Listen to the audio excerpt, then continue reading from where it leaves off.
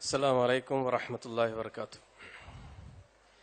إن الحمد لله نحمده ونستعينه ونستغفره ونؤمن به ونتوكل عليه ونعوذ بالله من شرور أنفسنا ومن سيئات أعمالنا من يهده الله فلا مضل له ومن يضلل فلا هادي له۔ وأشهد أن لا إله إلا الله وحده لا شريك له۔ واشهد ان محمدا عبده ورسوله. يا ايها الذين امنوا اتقوا الله حق تقاته ولا تموتن الا وانتم مسلمون. يا ايها الناس اتقوا ربكم الذي خلقكم من نفس واحده وخلق منها زوجها وبث منهما رجالا كثيرا ونساء. واتقوا الله الذي تساءلون به والارحام ان الله كان عليكم رقيبا. يا أيها الذين آمنوا اتقوا الله وقولوا قولا سديدا. يصلح لكم أعمالكم ويغفر لكم ذنوبكم. ومن يطع الله ورسوله فقد فاز فوزا عظيما. فأعوذ بالله من الشيطان الرجيم. ومن آياته أن خلق من أزواجكم أن خلق من أنفسكم أزواجا لتسكنوا إليها وجعل بينكم مودة ورحمة கண்ணித்திற்குரிய பெரியவர்களே அன்பார்ந்த சகோதரர்களே தாய்மார்களே சகோதரிகளே அல்லாஹுடைய அளப்பரிய கிருபையினால் இன்றைய தினம் நமது ஜமியத் அஹலில் குரான் வல் ஹதீஸ் என்ற அமைப்பின் சார்பாக மனிதநேய மாநாடு என்ற தலைப்பில் நிகழ்ச்சி நடைபெற்றுக் கொண்டிருக்கிறது. இந்த நிகழ்ச்சியில் பல்வேறு தலைப்புகளில் பல்வேறு அறிஞர் பெருமக்கள் உரையாற்றினார்கள். பட்டிமன்றத்தின் மூலமாக சில பல கருத்துக்கள் உங்களுடைய கவனத்திற்கு கொண்டு வரப்பட்டது. இஸ்லாமிய வட்டத்திற்கு வெளியேறக்கூடிய அன்பர்கள் இஸ்லாத்தை பற்றி தவறான எண்ணம் கொள்ளக்கூடிய அந்த சூழ்நிலையில் அவர்களுக்கு இஸ்லாத்தினுடைய சரியான கொள்கை கோட்பாடுகளை விளக்கக்கூடிய நிகழ்ச்சியும் நடைபெற்றது. அந்த தொடரில் இப்பொழுது குடும்ப அமைதிக்கு இஸ்லாம் கூறும் தீர்வு என்ற தலைப்பில் ஒரு சில விஷயங்களை உங்களுக்கு முன் நான் வைக்க வேண்டும் என்று பணிக்கப்பட்டிருக்கிறேன். அன்பிற்குறித்தானவர்களே அமைதி என்பது மனிதனுக்கு மிகவும் முக்கியம். அமைதி இல்லாத வாழ்க்கை என்பது அது நரக வாழ்க்கையா தான் இருக்கும். குடும்பம் அமைதியா இருந்தா தான் நாடு அமைதியா இருக்கும். இந்த குடும்பம் அமைதியாக இருப்பதற்கு இஸ்லாம் சொல்லக்கூடிய தீர்வுகள் என்ன என்று பார்த்தோமேயானால் இஸ்லாம் மிக தெளிவான தீர்வை தருகிறது. இஸ்லாத்தை ஏற்றுக்கொண்டாலே அமைதிதான் அந்த அமைதியான மார்க்கு சொல்லப்படக்கூடிய அத்தனை வழிகாட்டுதல்களும் மனிதனுக்கு அமைதியை ஏற்படுத்தக்கூடிய வழிகாட்டுதல் தான். அந்த அடிப்படையில் ஒரு குடும்ப வாழ்க்கை எப்படி அமைய வேண்டும் என்று இஸ்லாம் சொல்லுகிறதோ அந்த அடிப்படையில் அந்த குடும்பம் அமையுமையானால் அந்த குடும்பங்களில் பிரச்சனைகள் மிக மிக குறைவாகத்தான் இருக்கும். அமைதி எங்கு பார்த்தான் நிலவும். அந்த அடிப்படையில் ஒரு குடும்பம் நிம்மதியாக அமைதியாக இந்த உலகத்தில் வாழ வேண்டுமானால் இஸ்லாம் அதற்கு சில அடிப்படைகளை சொல்லித் தருகிறது. ஒரு குடும்பம் என்றால் யார்? கணவன் மனைவி பிள்ளைகள் பெற்றோர்கள். இன்னும் சொல்ல போனா குடும்பம் கொஞ்சம் விரிவடையும். மாமியார் மாமனார் நாத்தனார் சகோதரர்கள் இவர்கள் எல்லாம். அப்ப அந்த குடும்ப வாழ்க்கையில் ஒரு மனிதன் தன்னை ஈடுபடுத்திக் கொள்வதற்கு முன்பாக சில விஷயங்களை அவன் கண்காணித்து அதற்கு ஏற்றார் போல் அவன் தன்னுடைய வாழ்க்கையை ஆரம்பித்தால் அந்த குடும்பம் கண்டிப்பாக நிம்மதியா இருக்கும். இந்த குடும்ப வாழ்க்கை நிம்மதியாக இருக்க வேண்டும் என்ற அடிப்படையில் தான் இஸ்லாம் திருமண வாழ்க்கையை நமக்கு ஏற்பாடு செய்ய தருகிறது. வமின் ஆயாத்திஹி அன் ஹலக மின் அன்புசிக்கும் அஸ்வாஜின் லி தஸ்குனு இலைஹா. அல்லாஹ் ரபுல் ஆலமீன் தன் திருமறை குரல் சொல்லி காட்டுகிறான் அல்லாஹுடைய அத்தாட்சிகளில் ஒரு அத்தாட்சி என்ன தெரியுமா? மனிதர்கள் அவர்களிருந்தே அவருக்குரிய துணையை ஏற்பாடு செய்து அந்த துணையின் மூலமாக ஒரு நிம்மதியையும் ஒரு பாசத்தையும் அல்லாஹ் ரபுல் ரபுல் ஆலமீன் ஏற்படுத்தி இருக்கிறார் என்று திருமறை குரல் சொல்லி காட்டுகிறான். அப்ப திருமறை வாழ்க்கை என்பதனுடைய நோக்கமே அங்கு நிம்மதி அமைதி இருக்க வேண்டும். அந்த நிம்மதி அமைதி அந்த திருமண வாழ்க்கையில் அமைய வேண்டுமானால் அதற்கு முன்பாக அந்த வாழ்க்கையில் அடியெடுத்து வைப்பதற்கு முன்பாக சில விஷயங்களை இஸ்லாம் நமக்கு சொல்லி தருகிறது. அதுல என்ன? ஒரு மனிதனுடைய வாழ்க்கை நிம்மதியா இருக்கணும் குடும்ப வாழ்க்கை. முதல் முதலாக செய்ய வேண்டியது யாரை தன்னுடைய வாழ்க்கை துணைவியாக அல்லது துணைவனாக தேர்வு செய்ய போகிறாரோ அந்த மனிதரை பார்க்க வேண்டும் அந்த பெண்ணை பார்க்க வேண்டும். குடும்ப அமைதியா இருக்கணும்னா. இஸ்லாம் என்ன சொல்லுது? துன்கஹுல் மராத்துலி அர்பா லி மாலிஹா வலி ஜமாலிஹா வலி ஹசபிஹா வலி தீனிஹா ஃபல்ஃபர் பிதாத்தி தீன் தரிபத்தியதாக். இந்த உலகத்தில் பெண் என்பவள் நான்கு விஷயங்களை முன்னிலைப்படுத்தி அவள் விவாகம் செய்யப்படுகிறாள். அவருடைய அழகை முன்னிறுத்தி அல்லது அவருடைய செல்வத்தை முன்னிறுத்தி அல்லது அவருடைய பாரம்பரியம் குடும்ப குலம் இதை முன்னிறுத்தி அவளுடைய நல்ல ஒழுக்க மார்க்கத்தை முன்னிலைப்படுத்தி. எனவே நீ உன்னுடைய வாழ்க்கையில் வெற்றி பெற வேண்டுமானால் நிம்மதியான வாழ்க்கையை நீ அனுபவிக்க வேண்டுமானால் தீன் தரிபத்ததாக் நீ நல்லா இருப்ப மார்க்கம் உள்ள பெண்ணை தேர்வு செய். அல்லாஹுக்கும் அல்லாஹுடைய ரசூலுக்கும் கட்டுப்படக்கூடிய அந்த பெண்ணை நல்ல ஒழுக்கங்களாக இருக்கு நல்ல ஒழுக்கங்களை தன்னகத்தே கொண்ட அந்த பெண்ணை திருமணம் செய்து கொள் என்று நபிகள் நாயகம் செல்லலாசரம் சொல்லி காட்டுகிறார்கள். இதே நிலைத்தான் ஆணுக்கும். ஒரு பெண் ஆணை தேர்வு செய்யும் போது கூட அங்கு அவருடைய அழகோ அவருடைய செல்வமோ மற்ற விஷயங்களை முன்னிலைப்படுத்துவதற்கு முன்பாக அவரிடத்தில் இருக்கக்கூடிய மார்க்க பற்றை பார்க்க வேண்டும். அப்படி இருவரும் பார்த்து தேர்வு செய்து திருமண வாழ்க்கையில் சந்தித்தார்களேயானால் கண்டிப்பாக இஸ்லாம் சொல்லக்கூடிய வரையறைகள் என்ன என்பதை தெரிந்து அவர்கள் அந்த வாழ்க்கையில் வருவாங்க. கணவன் மனைவிக்கு செய்ய வேண்டிய உரிமைகள் கடமைகள் என்ன? மனைவி கணவனுக்கு கணவன் மனைவிக்கு எந்தெந்த லிமிட் இருக்கிறத இஸ்லாம் தெளிவா சொல்லி காட்டுகிறது. அவரவர்கள் அவர்களுக்கு விதிக்கப்பட்டது லிமிட்ல நின்றாங்கன்னா பிரச்சனை இல்லை. லிமிட்டை தாண்டும் போதுதான் பிரச்சனையே வருது. எனவே இந்த இஸ்லாம் அழகான ஒரு தீர்வை சொல்லுகிறது. முதலில் திருமணத்திற்கு அந்த வாழ்க்கையில் ஈடுபடுவதற்கு முன்பாக யாரை தேர்வு செய்ய வேண்டும்? குடும்பம் நிம்மதியாக இருக்கணும்னாக்க தனக்கு வரக்கூடிய மனைவியோ அல்ல தனக்கு வரக்கூடிய கணவனோ எப்படிப்பட்டவனாக இருக்க வேண்டும் என்பதை தேர்வு செய்யும்படி இஸ்லாம் நமக்கு சொல்லி காட்டுகிறது. அப்படி சேர்வு செய்து நடந்துக்குமேயானால் நின் கண்டிப்பாக நிம்மதி நிலவும். சஹாபா பெருமக்களுடைய வாழ்க்கையில பாத்தீங்கன்னா நிம்மதியான வாழ்க்கை வாழ்ந்தாங்க. வயிற்றுக்கு வயிறு நிறைய அவர்கள் சாப்பிடாவிட்டாலும் உடித்துக் கொள்வதற்கு சரியான துணிமணிகள் அவருக்கு இல்லாவிட்டாலும் அவருடைய வாழ்க்கையில் மன நிம்மதியோடு வாழ்ந்தார்களா இல்லையா? எந்த அடிப்படையில்? மார்க்கத்தை அனுசரித்து அவர்கள் நடந்து கொண்ட விதத்தின் காரணமாக அல்லாஹுடைய வாழ்க்கையில் ஒரு மிகப்பெரிய நிம்மதியை வழங்கினான். இன்னைக்கு நமக்கு ஏராளமான பொருளாதாரம் இருக்கு. நிறைய வசதி வாய்ப்புகள் இருக்கு. இருந்தாலும் வாழ்க்கையில் நிம்மதி இல்லை என்ற ஒரு நிலை எதனால் எதனால் ஏற்பட்டது என்று பார்த்தோமேயானால் இஸ்லாம் சொல்லக்கூடிய இந்த அடிப்படை விஷயங்கள் நாம் நம்முடைய வாழ்க்கையில் கடைபிடிக்க தவறிவிட்டோம். இஸ்லாம் என்ன சொல்லி காட்டுகிறது? கணவனுக்கு சில லிமிட் இருக்கு. மனைவிக்குன்னு சில லிமிட்ஸ் இருக்கு. அது அதை தெரிஞ்சு கரெக்டா ஃபாலோ பண்ணாங்கன்னாக்கா பிரச்சனைகள் தவிர்க்கப்படலாம் என்பதை இஸ்லாம் ஆணித்தனமாக நமக்கு சொல்லித் தருகிறது. அன்பிற்குறித்தானவர்களே ஒரு மனிதன் தன்னுடைய வாழ்க்கையில் நிம்மதியாக இருந்தால்தான் அவருடைய எல்லா செயல்பாடுகளும் சரியாக அமையும். இருக்கா இல்லையா? ஒரு மனிதனுக்கு டென்ஷன் அமைதி இல்லைன்னாக்கா அவன் செய்யக்கூடிய தொழில் கான்சென்ட் பண்ண முடியாது. அவன் செய்யக்கூடிய இன்ன பிற அலுவல்கள் அவனால் முழு கவனம் செலுத்த முடியாது. என்ன அமைதி இல்லை. அமைதி இல்லாத போது வேறு தவறான வழிகளை அவன் அணுக வேண்டிய நிலையும் கூட ஏற்படலாம். வேறு விதமான மோசமான நிலைக்கு அவன் தள்ளப்படலாம். காரணம் மன அமைதி மன மனதின் நிம்மதி இல்லை. எனவே குடும்பத்தில் அமைதி நிலை வேண்டுமானால் அவர் அவருடைய பொறுப்புகளை உணர்ந்து அது சரிவரை நிறைவேற்றினால் கண்டிப்பாக குடும்பத்தில் அமைதி நிலவும். அப்ப கடவுளுடைய லிமிட் என்ன? மனிதனுடைய லிமிட் என்பது முதல்ல நம்ம தெரிஞ்சுக்கணும். எல்லாம் வல்ல ரப்புல் ஆலமீன் மனிதர்களை ஆண் பெண் இரு சாராராக இரு இடத்திலாக பிரித்து அந்த ஆணுக்கு சில சிறப்பு அம்சங்களை வழங்கி இருக்கிறான் அதை யாராலும் மறுக்க இயலாது.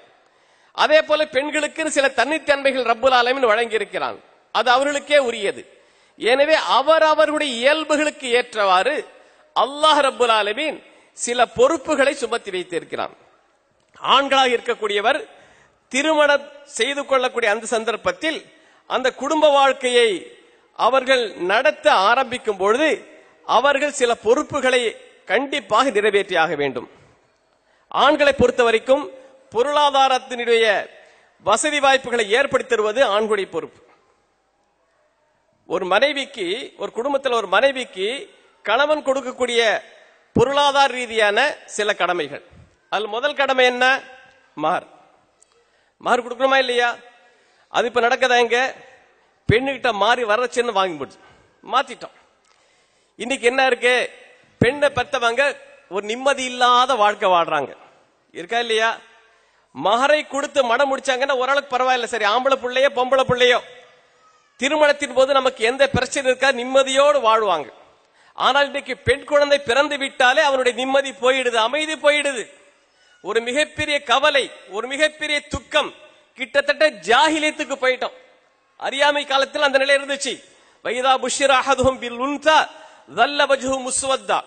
ஒரு மனிதனுக்கு பெண் குழந்தை பிறந்து விட்டால் பிறந்து விட்டது சொல்லப்பட்டால் சோகத்தால் அவனுடைய முகம் கருத்து போயிடும் அல்லாஹ் குரான் சொல்லி காட்டுகிறானே. கிட்டத்தட்ட அப்படித்தான். அதனால தான் இந்திய அரசாங்கம் என்ன சொல்லியிருக்கு?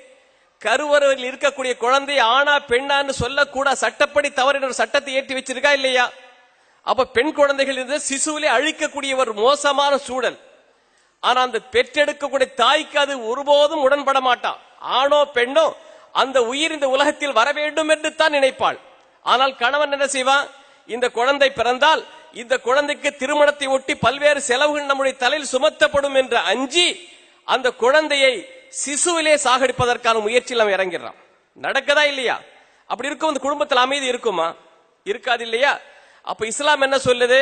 பொருளாதார அடிப்படையில் பார்க்கும் பொழுது கணவன் என்கக்கூடியவன் ஆண்மகனாக இருக்கக்கூடியவன் அவன் தான் மகரை கொடுக்க வேண்டும். நிசா சதுகாத்திஹின்ன நெஹ்லா. நீங்கள் உங்களுடைய பெண்களுக்கு அவருடைய மகர் தொகையை நீங்கள் மனமுவந்து கொடுத்து விடுங்கள் என்று அல்லாஹ் திருமறை குரான் சொல்லி இருக்க அதற்கு மாற்றமாக வரதட்சணைங்கிற பேர்ல வாங்க ஆரம்பிச்சோம்னாக்கா நிச்சயமாக அந்த குடும்பத்துல நிம்மதி இருக்காது. வரதட்சணை என்பது ஒரு கொடுமை தான். அது வந்து ஒரு நேர்மையான காரியம் அல்ல என்பதை இந்திய அரசாங்கம் ஏற்றுக்கொண்டிருக்கிறது. வரதட்சணை ஒழிப்பு சட்டம் கூட கொண்டு வந்திருக்கு அரசாங்கம். அதையும் தாண்டி மறைமுகமாக எப்படியெல்லாம் வரதட்சணை வாங்க முடியுமோ அப்படியெல்லாம் வாங்குவாங்க. இதோட விஷயம் என்ன தெரியுமா? சிலர் வந்து நாம மிகப்பெரிய இஸ்லாத்துடைய பிடிப்போடு இருக்கக்கூடியவங்க. நாம மகரு கொடுத்து தான் திருமணம் முடிப்போம். பெண் வீட்டிடமிருந்து எதுவுமே வாங்க மாட்டோம்னு இப்படி சொல்லிப்பாங்க. ஆனால் மறைமுக வரதட்சணை வாங்குவாங்க. என்ன தெரியுமா? மாமனார் வசதி உள்ளவரான்னு பார்ப்பாரு. ஏன்? மாமனார் இறந்த பிறகு அந்த சொத்துக்கு யாரு? அவருடைய மகளுக்கு வந்து சேரும். அது மூலமாக வரக்கூடிய இப்படி கால்குலேஷன் பண்ணுவாங்க. அல்லாஹ் எண்ணங்களை அறியக்கூடியவன். அல்லாஹ் எண்ணங்களை அறியக்கூடியவன். அந்த எண்ணம் மனசில் இருக்கணும். அல்லாஹுடைய கற்றல் நிறைவேற்றும் முகமாக அந்த பெண் ஒழுக்கமுள்ள பெண்ணாக இருக்கிறாளா? மார்க்கப்பற்றுள்ள பெண்ணாக இருக்கிறாளா? இதுதான் பார்க்க வேண்டுமே தவிர இது வந்து ஃபியூச்சர்ல கால்குலேஷன் பண்ணி எல்லாம் செய்யக்கூடாது. அங்க போகக்கூடாது. எனவே நாம எந்த நினைச்சாலும் அல்லாஹ் அதை நன்றாக அறிந்து கொண்டிருக்கிறான். பெண்களுக்கு மகரை கொடுத்துத்தான் மணமுடிக்கும் அந்த பொருளாதார சுமையை இஸ்லாம் ஆண்களுக்கு சுமத்தியிருக்கு. அடுத்த கட்டமாக ஆணுக்கு என்ன செய்யணும்? குடும்பம் நிம்மதியா போறது என்ன? கல்யாணத்தை முடிச்சுக்கிட்டானா? அதற்கான வாழ்க்கைக்கு தேவையான வசதி வாய்ப்புகள் ஏற்படுத்தி கொடுக்கணும் ஆணுடைய கடமை. திருமணம் செய்த அந்த குடும்பத்தில் அந்த கணவன் தன்னுடைய மனைவிக்கு உணவுக்கு தேவை தேவைப்படக்கூடிய அந்த வசதிகளை ஏற்படுத்தி கொடுக்கும் பொழுது வசிப்படுத்திற்கு தேவையான வசதிகள் ஏற்படுத்தி கொடுக்கும்போது அந்த குடும்பம் நிம்மதியா இருக்கும். கண்டிப்பா நிம்மதியா இருக்கும். கணவன் ஏதோ சம்பாதிக்கிறார் சம்பாதிச்சு அவருக்கு உண்பதற்கும் உடுத்துவதற்கும் இருப்பதற்கும் உள்ள ஏற்பாடு செய்கிறார் இவர் அந்த ஏற்பாடு செய்யாம இருந்தால் அங்கே பிரச்சனை தான். நிம்மதி இருக்காது. வீட்டில் உட்காந்துக்கிட்டு மாமனார் வீட்டில இருந்து எதிர்பார்த்தேன்னா அது கஷ்டம். அல்லது மனைவியுடைய சகோதரிடம் இருந்து இதான் எதிர்பார்த்து இப்படி குடும்பங்கள் இருக்கத்தானே செய்யுது? சில குடும்பத்தில் ஆண்கள் உழைக்க மாட்டாங்க. பொருளாதாரத்தை ஈட்டுவதற்காக முன்வர மாட்டாங்க. ஆனால் இஸ்லாம் கண்டிப்பாக ஆண்கள் பெண்களுக்கு தேவையான அடிப்படை வசதி செய்து கொடுத்தாக வேண்டும் என்று இஸ்லாம் சொல்லுகிறது.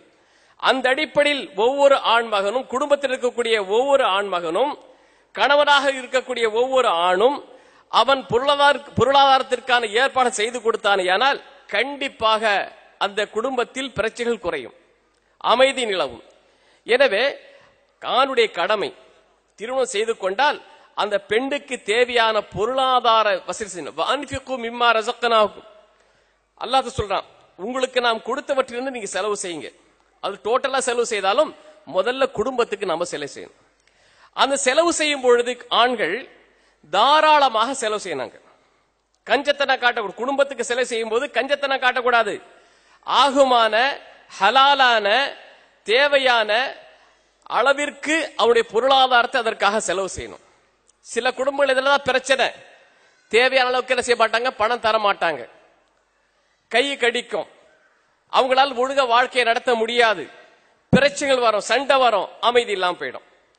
அப்போ அவனால் எந்த அளவிற்கு பொருளாதார வசதி ஏற்படுத்தி தர முடியுமோ அந்த அளவுக்கு பொருளாதார வசதி ஏற்படுத்தி கண்டிப்பாக கொடுக்க வேண்டும். லியுன்ஃபிக் து சாத்தி மின் சாத்தி அல்லாஹ் குரான் சொல்லி காட்டுகிறான் வசதி உள்ளவர்கள் வசதிக்கு அவருடைய வசதிகளுக்கு ஏற்றவாறு செலவு செய்யட்டும். வசதி இருந்தா அதற்காக செலவு செய்யட்டும். வசதி இல்லையா எந்த அளவுக்கு வசதி இருக்கோ அந்த அளவுக்கு செலவு பண்ணும். அவருக்கு வசதி இருந்தும் செலவு செய்யாமல் இருந்தால் அது மிகப்பெரிய பிரச்சனை உருவாக்கும். அப்படிப்பட்ட கட்டத்தில் இஸ்லாம் பெண்ணுக்கு ஒரு தனிப்பட்ட ஒரு உரிமை வழங்கிறது கணவன் தேவையான அளவிற்கு பொருளாதார வசதி ஏற்படுத்தி தர மறுத்தால் அவன் கையில பணம் இருந்தும் தர மறுத்தால் அந்த பொருளாதாரத்தை அவனுடைய அனுமதி இல்லாமல் எடுப்பதற்கு கூட இஸ்லாம் அனுமதி தருகிறது பெண்களுக்கு.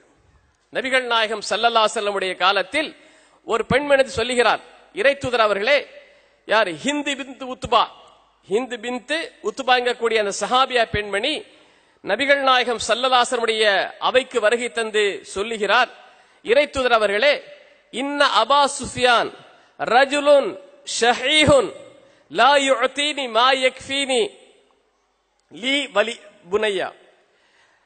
இறைத்துதர் அவர்களே அபு சுஃபியான் என்பவர் கடுமையான பேராசை உடையவராக இருக்கிறார். பொருளாதாரத்தின் மீது ரொம்ப பேராசை. செலவு செய்ய மறுக்கிறார். அவரிடம் பணம் இருந்தும் கூட குடும்பத்திற்கு தேவையான அளவிற்கு அவர் பொருளாதாரத்தை வழங்குவது கிடையாது என்று சொன்னபோது ரசூசல்லா செல்லாம் அவர்கள் கேட்கிறார்கள். உனக்கு இப்ப என்ன தேவை? அந்த பெண்மணி சொல்லி கேட்கிறார் எனவே அவருக்கு அவருக்கு தெரியாமல் அவருடைய அனுமதி இல்லாமல் எனக்கு தேவையான பொருளாதாரத்தை எடுத்துக்கொள்ளலாமான்னு கேட்கும் போது நபிகள் நாயகம் சல்லலாசலம் சொல்கிறார்கள் ஹுதி மா எக்ஃபீகி வாகலிக்கு உனக்கும் உன்னுடைய குடும்பத்திற்கும் தேவையான அளவுக்கு நீ எடுத்துக்க. இவ்வளவு பர்மிஷன் இருக்குங்க. இது கண்டிப்பா கொடுத்தாகணும். கொடுக்க மறுத்தால் மனைவி எங்கக்கூடியவள் தேவையான அளவிற்கு பொருளாதாரத்தில் எடுத்துக்கிடலாம். அதுக்குன்னு பாக்கெட்டை காலி பண்ணிடக்கூடாது. புரிஞ்சுக்கிட்டீங்களா? தேவையானதான் பில் மரூஃப் அந்த குடும்பத்துக்கு எவ்வளவு தேவைப்படுங்கிறது எல்லாருக்கும் தெரியும். ஒவ்வொரு ஏரியாவுக்கும் ஒரு மாதிரியா தேவைப்படும். சென்னை நகரம் போன்ற நகரங்கள்ல வந்து அதிகமா தேவைப்படும். கிராமங்கள்ல குறைவா தேவைப்படும். என்ன வாழ்க்கையினுடைய தரம் இருக்கா இல்லையா? அந்தந்த ஏரியா பொறுத்து அந்த பொருளாதாரம் எவ்வளவு தேவைப்படும் தெரியும். எனவே நபிகள் நாயகம் சல்லல்லா செல்லம் அவர்கள் உனக்கும் உன்னுடைய குடும்பத்திற்கும் பிள்ளைகளுக்கும் எந்த அளவிற்கு தேவைப்படுமோ அந்த அளவிற்கு எடுத்துக்கொள் என்று நபிகள் நாயகம் சல்லல்லா செல்லாம் அவர்கள் அந்த பொருளாதாரத்தை பெறுவதற்கான அனுமதியை ரசூசலம் வழங்கியிருக்கிறாங்க. அதே போன்று ஒரு கணவன் இருக்கக்கூடியவன் தன்னுடைய குடும்பத்தை எங்க வைக்கணும் தெரியுமா? அவருடைய சக்திக்கு ஏற்றவாறு இடத்துல வசிக்க வைக்கணும். பணத்துக்காக காசுக்காக வேண்டி ஃபேமிலியை கஷ்டப்படுத்த கூடாது. அவனுக்கு நல்ல ஒரு பில்டிங் கட்டி அந்த குடும்பத்தை வாழ வைக்க முடியும்னா கண்டிப்பாக பில்டிங் கட்டி வாழ வைக்கணும். குடிசை தான் கட்ட முடியும்னாக்கா குடிசையில கட்டு வாழும் இவனுக்கு பில்டிங் கட்டுற வசதிக்கு வசதி இருக்கு. ஆனா எதுக்கு இவ்வளவு செலவு பண்ணுவானே? சும்மா ஒரு குடிசையை போட்டு போட்டுக்கலாம். அல்ல சும்மா டென்ட் அடிச்சுக்கலாம். சும்மா ஷீட்டை போட்டுக்கலாம். இப்படி எல்லாம் கஷ்டப்படக்கூடாது. அந்த மனைவி ஒத்துப்பாளா? இவன்கிட்ட காசி பணம் இருக்கு குடும்பத்தை சந்தோஷமா நிம்மதியா வாழ விட மாட்டேங்கிறானே. பிரச்சனை வருமா வராதா? அப்ப அந்த பிரச்சனை தவிர்க்கணும்னாக்கா அல்லாஹ் குரான் சொல்லி காட்டுறான் அஸ்கினுஹுன்ன மின் ஹைசு சகந்தும் மின் ஊஜ்திக்கும். உங்களுக்கு இருக்கிற வசதிக்கு ஏற்றவாறு நீங்கள் அவர்களை வசிக்க வைங்க. அப்போ இதெல்லாம் இந்த வசதிகள்லாம் செலவுக்கு தேவையான பணம் அவர்களுக்கு தேவையான வசிப்பிடம் இதையெல்லாம் ஒரு கணவன் செய்து கொடுக்க வேண்டும் என்று இஸ்லாம் சொல்லுகிறது. கணவன் தனக்குரிய இந்த பணிகளை இந்த பொறுப்புகளை இந்த கடமைகளை அவர் நிறைவேற்றும் போது கண்டிப்பாக அந்த குடும்பத்தில் அமைதி நிலவும் என்பதில் எந்த சந்தேகமும் இருக்க முடியாது. அதே போன்று பெண்களிடம் கணவன் செய்ய வேண்டியது என்ன? இது மட்டும் செஞ்சா போதாது. மனைவியுடைய மற்ற மற்ற தேவைகளையும் அவன் நிறைவு செய்தாக வேண்டும். இது எல்லாம் வந்து வெளியிலிருந்து பார்ப்பதற்கு நமக்கு கண்களுக்கு தெரியக்கூடிய உதவிகள் செய்ய வேண்டிய கடமைகள் பணிகள் நம்முடைய சில விஷயங்கள் இருக்கு. அது வந்து அந்தரங்க வாழ்க்கையோடு சம்பந்தப்பட்டது. அதற்கான அந்த ஹக்கையும் அவன் நிறைவேற்றியாக வேண்டும். கண்டிப்பா நிறைவேற்றியாக வேண்டும். எனக்கு பிசினஸ் பிசினஸ் சொல்லிக்கிட்டு இரவு பகலிட்டு போய் வியாபாரத்தில் உட்காந்துக்கிட்டு மனைவி கவனிக்காம இருந்துடக்கூடாது. காசு பண்ண நிறைய தருவாரு. நல்ல சொகுசான வீட்டை கட்டி கொடுத்திருப்பாரு ஆனால் அவங்களுக்கு ஒரு இல்வாழ்க்கையை தரணுமா இல்லையா? அதிலும் கவனம் செலுத்தணும். அதில் கவனம் செலுத்த தவறினால் அங்கு வேறு விதமான குழப்பங்கள் நிலவி அங்கு அமைதி இல்லாமல் போயிடும். இருக்கா இல்லையா? கல்யாணம் முடிச்சுட்டு பாட்டுக்கு பத்து வருஷம் சவுதியில போய் உட்காந்துக்கிட்டீங்கன்னாக்க அரண்மனையில் போய் உட்காந்துக்கிட்டீங்கன்னாக்க இங்க வேற ஒரு வாழ்க்கையெல்லாம் ஈடுபட்டு போவோம். அது கேள்விப்பட்ட மனசருக்கு நிம்மதி இருக்குமா? கண்டிப்பாக இருக்காது. இது எல்லாம் ஒரு மிகப்பெரிய பிரச்சனை. எனவே என்ன செய்யணும்? அதற்கான தேவைகளும் நிறைவேற்றியவான். இம்மன் குடும்பத்தில் நிம்மதி வேணும்னாக்கா இந்த தேவையும் கண்டிப்பாக நிறைவேற்றியாக வேண்டும். பிசினஸ் பிசினஸ் போயிடக்கூடாது. தாவா தாவா பண்ண சொல்லிட்டு எல்லாம் சுத்திட்டு இருந்தா அந்த ஹக்கை நிறைவேற்றணும். என்ன பணிகள் இருந்தாலும் குடும்பத்துக்கு செய்ய வேண்டிய அந்த ஹக்கை மனைவிக்கு வழங்க வேண்டிய ஹக்கை கண்டிப்பாக அவன் நிறைவேற்றியாக வேண்டும். அப்பொழுதுதான் நிம்மதி இருக்கும். அதற்கு நிறைய சான்றுகள் நம்ம ஹதீஸ்ல பார்க்கலாம். சல்மான் ஃபார்சி அபு தர்தா ரதியல்லாஹு அன்ஹுமா இவருடைய வாழ்க்கையில் நடைபெற்ற ஒரு சம்பவம். அதில் அபு தர்தாவுடைய மனைவி அவர்களை சல்மான் பார்சிவை பார்க்கும் பொழுது கொஞ்சம் அலங்கோலமா இருக்காங்க. தன்னை சரியாக ட்ரெஸ் பண்ணிக்காம ஏதோ உலகத்தில் பற்றிலா போல ஒரு மாதிரி இருக்கிறாங்க. இதை கண்ட சல்மான் அவர்கள் கேட்கிறாங்க உங்க வாழ்க்கை எப்படி இருக்குன்னு? ஏதோ வாழ்ந்துட்டு இருக்கிறாங்க போல அதிருப்தியா சொல்றாங்க. எனவே என்ன ஏன் அதிருப்தி அடைகிறார்கள் என்று தெரிந்து கொள்வதற்காக வேண்டி ஒரு நாள் அங்கு தங்கியிருந்து பார்த்தபோது அவருடைய நண்பர் யாரு? அபுதர்தா அவர்கள் அந்த மனைவியோடு சரியான முறையில் ஈடுபடுவது கிடையாது தெரிய வந்து கண்டிக்கிறாங்க அவங்கள. மிகப்பெரிய கண்டிக்கிறாங்க. கண்டித்த பிறகு ரசூல்லாவுடைய அவைக்கு இந்த விஷயம் போது ரசூசல்லா சலாம் அவர்கள் சல்மான் செய்தது சரிதான் என்று சொல்கிறார்கள் எனவே இந்த விஷயத்தில் நாம் கவனமாக இருக்க வேண்டும். குடும்பத்தில் அமைதியாக இருக்கணும் இது ஆண்கள். பெண்களை பொறுத்த வரைக்கும் என்ன? அவர்கள் நிம்மதியாக வாழ வேண்டுமானால் கணவனுக்கு கட்டுப்பட்டு போன்னு இஸ்லாம் சொல்லுது. ரசூசல்லா சலாம் அவர்கள் நல்ல மனைவிக்கு நல்ல குடும்ப தலைவிக்கு ஒரு விஷயத்தை சொல்லும் பொழுது இதா நதர்த்த இலைஹா சர்ரத்து இதா நதரத்தை இலைஹா இதா நதர இலைஹா சர்ரத்து அவன் அவளை பார்த்தால் சந்தோஷத்தை தருவாள். கட்டளையிட்டால் கட்டுப்படுவாள். இந்த ரெண்டு விஷயம் இருந்துச்சுன்னாக்கா குடும்பம் நல்லா இருக்குங்க. கணவனுக்கு கட்டுப்பட்டு போகணுங்கிற மனநிலை மனைவிக்கு இருக்கணும். அதே போல கணவனை சந்தோஷமாக வைத்திருக்க வேண்டும் என்ற ஒரு நிலை அந்த பெண்ணிடம் வந்தால் அங்கு அமைதி நிலவும். கணவன் சொல்லக்கூடிய விஷயங்களுக்கு கட்டுப்பட மனைவி மறுத்தால் அந்த குடும்பத்தில் அமைதி இருக்குமா? கண்டிப்பாக இருக்காது. எனவே தான் நபிகள் நாயகம் ஸல்லல்லாஹு அலைஹி அவர்கள் பெண்களை பொறுத்த வரைக்கும் குடும்பம் அமைதியாக இருக்க வேண்டுமானால் அல்லாஹுக்கு மாறு செய்யாத விஷயம் அதை தவிர்த்து மற்ற எல்லா நிலையிலும் கணவனுக்கு கட்டுப்பட்டு தான் எந்த அளவிற்கு? கணவனுக்கு பிடிக்காத ஒரு நபர் வீட்டுக்குள் வருவதை அவன் வரக்கூடாது தடுத்தால் அது கட்டுப்பட்டு தான் போகணும். கட்டுப்படணும். இன்னைக்கு குடும்பத்தில் எப்படியெல்லாம் பிரச்சனை தெரியுமா? சொந்த பந்தங்களே வீட்டுக்கு வர வரக்கூடாதுன்னு சொல்றாரு கணவர். இப்படிப்பட்ட சில பிரச்சனைகள் இருக்கும். அப்ப அந்த கணவனுக்கு என்ன? மார்க்கம் தெரியணும். மார்க்கம் தான் முக்கியம். எந்த ஆணுக்கோ பெண்ணுக்கோ மார்க்கம் தெரிகிறது அங்க அமைதி இருக்கும் குடும்பத்துல. எங்கு மார்க்கம் இல்லையோ அங்கு கண்டிப்பாக பிரச்சனைகள் இருக்கும் அமைதி இருக்கவே இருக்க குடும்பத்துல. எனவே தான் ஒரு இஸ்லாமிய ஒரு குடும்பம் எந்த குடும்பம் ஒரு குடும்பம் நிம்மதி அதில் இரு- வேண்டுமானால் நிம்மதியோடு அந்த குடும்பம் வாழ வேண்டுமானால் அங்கு இஸ்லாம் சொல்லக்கூடிய அந்த கட்டளைகள் இஸ்லாம் சொல்லக்கூடிய அந்த வழிகாட்டுதல்கள் அவர்களிடத்தில் இருந்தால்தான் அந்த குடும்பம் நிம்மதியா இருக்கும். இல்லையே காசு பணமோ பொருளாதாரமோ எந்த ஒரு மேம்பாடு இருந்தாலும் அதில் நாம் அமைதியை பார்க்க முடியாது. கண்டிப்பாக மன உளைச்சலும் வேதனையும் எல்லா விதமான நோய்களும் அங்கு வந்து சேரும். எனவே அன்பிற்குரிய சகோதரர்களே ரப்புல் ஆலமீன் அல்லாஹ் திருமறை குரான் மூலமாக நபிகள் நாயகம் சல்லல்லாசல் மூலமாக ஒரு ஆண் பெண் அந்த குடும்பத்தில் நிம்மதி நிலை வேண்டுமானால் எப்படிப்பட்ட வழிகாட்டுதல்களை அவர்கள் பின்பற்ற வேண்டும் என்பதை தெளிவாக சொல்லியிருக்கிறார்கள். அந்த அடிப்படையில் நபிகள் நாயகம் சல்லா சொல்லுகிறார்கள் ஒரு பெண் எங்கக்கூடியவள் தன்னுடைய கணவனுடைய அனுமதி இல்லாமல் வீட்டை விட்டு வெளியே போகக்கூடாது. கேட்கணும். கணவன் கட்டுப்பட்டு தான் போகணும். அவருடைய அனுமதி இல்லாமல் எந்த அளவிற்கு என்ன- எந்த அளவுக்கு கட்டுப்பட வேண்டுமானால் ஃபர்லான் நோன்புகளை தவிர்த்து அல்லாத நோன்புகளை கூட கணவனுடைய அனுமதி இல்லாமல் நோற்கக்கூடாது கூடாது என்று நபிகள் நாயகம் செல்லா சொல்லியிருக்கிறாங்கன்னா கொஞ்சம் பாருங்க. எந்த அளவுக்கு கணவனுக்கு கட்டுப்பட்டு போகணும்ட்டு அந்த கணவன் மார்க்கப்பட்டுள்ள கணவனாக இருந்தால் கண்டிப்பாக அல்லாஹுக்கு மாறு செய்யக்கூடிய விஷயங்களை சொல்லி தர மாட்டான். ஏவ மாட்டான். அப்படி இருக்கும்போது சரி என்னுடைய கணவன் என்னுடைய நல்லதான் சொல்றான்னு அவர் பொருந்திட்டு போயிட்டே இருப்பான். அதே போல குடும்ப அமைதிக்கு மிக முக்கியமா சொல்வது பொறுப்பு பொறுமை சகிப்புத்தன்மை இருக்கணும். சகிப்புத்தன்மை கண்டிப்பா இருக்கணும். எனக்கு முன்னால் கூட சில சகோதர பட்டிமன்றத்தில் கூட அந்த சம்பவம் சொன்னாங்க. ரசூசலாசனுடைய காலத்தில் ரசூசலாசனுடைய மனைவி இடத்தில் ஆயிஷா வீட்டுக்கு இன்னொரு மனைவி ஒரு உணவு பதார்த்தத்தை கொடுத்து அனுப்பிய போது அந்த மனைவி என்ன செய்யறாங்க அந்த தட்டை தட்டி விட்டுறாங்க. அந்த தட்டு கீழே உடந்து உடஞ்சிருது. நபிகள் நாயகம் சலாசன் ரொம்ப பொறுமையோடு இருந்து அந்த உணவை வேறொரு தட்டில் வைத்துட்டு உடைந்த தட்டை தன்னிடம் வைத்துக் கொண்டு நல்ல தட்டை கொடுத்து அனுப்புறாங்க. சகிப்புத்தன்மை இல்லையா? லக்கது காரணக்கும் ஃபீ ரசூல் இல்லாஹி உஸ்வத்துல் ஹசனா. உங்களுக்கு இறைத்தோட அழகான முன்மாதிரி இருக்குன்னு சொல்றாங்களா இல்லையா? அப்ப சகிப்புத்தன்மை இருக்கணும். பொறுமை இருக்கணும். ரெண்டு பேரும் டென்ஷன்ல வந்தாங்கன்னு வச்சுங்களேன் குடும்பம் வராது. கடைசியில வந்து தலாக்கா அது இதுன்னு வரும்.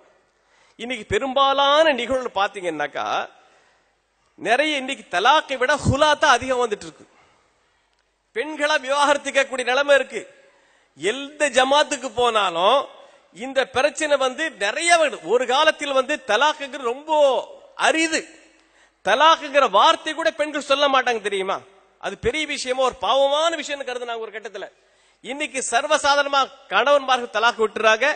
பெண்கள் அதிகமாகவே ஹுலா என்று விவாகரத்தை அவங்க கோர்றாங்க. இது போன்ற நிலைகள் வருவதற்கு காரணம் என்னன்னு பாத்தீங்கன்னா ஒன்னும் இல்லை. சகிப்புத்தன்மை இருக்காது. பொறுமை இருக்காது அல்லது அளவுக்கு அதிகமான பொருளாதார வசதி வாய்ப்புகளை எதிர்பார்ப்பது பார்க்கிறோமா இல்லையா? அப்ப அதிகமான பொருளாதார வசதி ஏற்படுத்த அவன் என்ன செய்வான்? ஹராமான முறையில் சம்பாதிப்பான். ஏதோ லஞ்சம் கை ஊட்டல் வாங்கி அதில் மாட்டிப்பான். மாட்டிக்கிட்ட நிம்மதி இருக்குமா குடும்பத்தில் குடும்பத்துல? நிம்மதி இருக்காது.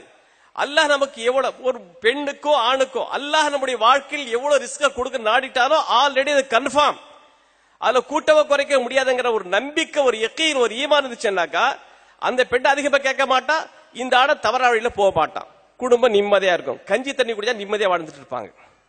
இன்னைக்கு நல்ல பெரிய வசதியா இருந்துட்டு இங்க அங்க தவறான வழியில போய் கேசுகள்ல சிக்கிட்டு நிம்மதி இல்லாம இருக்கிறாங்களா இல்லையா? அவனும் நிம்மதியே இல்ல வீட்டில் குடும்பத்தினுடைய ந- நபர்கள் நம்பி நிம்மதியா இல்லை. எனவே பெண்ணை பொறுத்த வரைக்கும் அளவுக்கு அதிகம் ஆசைப்படக்கூடாது. ஆடம்பரத்தை விரும்பக்கூடாது. இன்னைக்கு பெரும்பாலும் அப்படித்தான் இருக்கு. ஆடம்பரங்களை விரும்பி அளவுக்கு அதிகமான பொருளாதாரத்தை எதிர்பார்த்து கணவனுடைய வசதி வாய்ப்புகளை தாண்டி கேட்கிறவர்கள் நிலைக்கு வரும்போது கண்டிப்பாக அந்த குடும்பத்தில் செய்யாது? நிம்மதி இருக்காது. எனவே அல்லாஹ் எதை கொடுத்தானோ அதை புரிந்து கொண்டு வாழ்க்கையை நடத்த நாம் முன்வந்தோமேயானால் கண்டிப்பாக குடும்பத்தில் அமைதி நிலவும் என்பதில் நாம் சந்தேகப்பட வேண்டிய அவசியம் இல்லை எனவே அல்லாஹ் ரபுல் ஆலமீனும் நபிகள் நாயகம் சல்லா செல்லம் அவர்களும் குடும்பம் அமைதியாக இருப்பதற்கான வழிவகைகளை பட்டியல் போட்டு காட்டுறாங்க. ஆண்கள் இப்படி நடந்துக்கணும் பெண்கள் இப்படி நடந்துக்கணும் இன்னைக்கு என்ன நிம்மதி? இது ரெண்டு பக்கம். குழந்தைகள் சரியில்லை நிம்மதி இல்லாம இருப்பான் இந்த ரெண்டு பேரும் சரி குழந்தைகள் நல்லா இல்லாம்பாங்க. குழந்தை ஒடுக்க கிட்ட போயிட்டான் அவன் குடிக்கிறான் அவன் பார்த்து வீணா போயிட்டான் நிம்மதி இல்லாம இருக்கு குடும்பம். அதுக்கு இஸ்லாம் தீர்வு சொல்லுதா இல்லையா? குழந்தைகளை சிறிய வயதிலிருந்தே கரெக்டா நல்ல ஒழுக்கங்களை சொல்லி அவர்களுக்கு போதனை கொடுத்து வளர்க்கணும்னு சொல்லுது. அப்படி நல்ல ஒழுக்கங்கள் போதிக்கப்பட்ட குழந்தைகள் கண்டிப்பாக நல்ல காலத்தில் வளருவார்கள். அப்பொழுது குடும்பத்தில் அமை நிலவும். எனவே பெற்றோர்கள் அவரவர்கள் செய்யக்கூடிய பொறுப்புகளை உணர்ந்து அந்த பொறுப்புகளை நிறைவேற்றுவார்களேயானால் இஸ்லாம் சொல்லக்கூடிய அந்த பொறுப்புகளை சரிவர உள்வாங்கிக் கொண்டு அதை நம்முடைய குடும்பத்தில் அமல்படுத்துவார்களேயானால் கண்டிப்பாக நிம்மதி அமைதி அந்த குடும்பத்தில் இருக்கும் என்பதில் எந்த சந்தேகமும் இருக்க முடியாது. என அன்புக்கிற சகோதரர்களே என்னுடைய நேரம் முடிவடைந்த காரணத்தினால் மகளுடைய நேரம் ஆரம்பித்து மகளுடைய தொழுகைக்கு எல்லாம் ஆயத்தமாகிக் கொண்டிருக்கிறார்கள்.